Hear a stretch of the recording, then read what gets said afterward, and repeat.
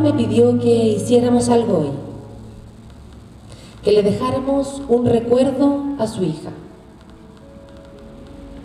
Su idea es comprobar que la memoria intrauterina existe y que el niño útero puede realizar funciones como el aprendizaje o la memoria a través del sonido. Entonces, yo tengo que inventar un cuento en este momento.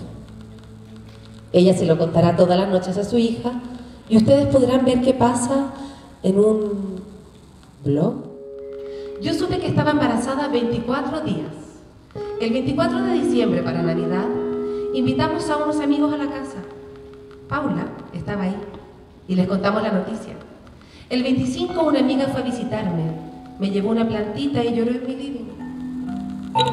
Entonces, siempre he tenido de la impresión mi mamá embarazada de mí dentro de esa otra guata que es la piscina.